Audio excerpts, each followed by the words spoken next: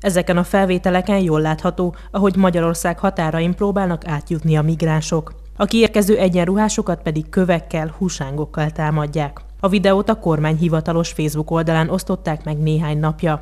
Az elmúlt hétvége során Tolna megyében összesen négy alkalommal 53 illegális határátkelőt és négy embercsempészt fogtak el. Többek között szombaton reggel az M9-es úton egy futárcég kocsiából ugrott ki és szaladt el több mint 30 magát szír állampolgárnak valló illegális hatásértő. Őket fél órán belül elfogták az egyenruhások. Továbbá még aznap este egy török embercsempészt is letartóztattak a rendőrök. Egy török embercsempész egy személygépkocsival szállított magát kurd állampolgárnak valló személy személyeket, ők heten voltak, a, kurde, a török embercsempészt kollégáim elfogták, előállították, majd őrizetbe vették, a migránsokat pedig visszakísérték az ideiglenes biztonsági határzárhoz. Vasárnap pedig a Szexádi buszpálya udvaron fogtak el egy migránst, mondta el a szóvivő. Pintér Sándor belügyminiszter szerint utoljára 2015-ben volt ehhez hasonló bevándorlási válság, akkor közel 400 ezeren érkeztek az országba.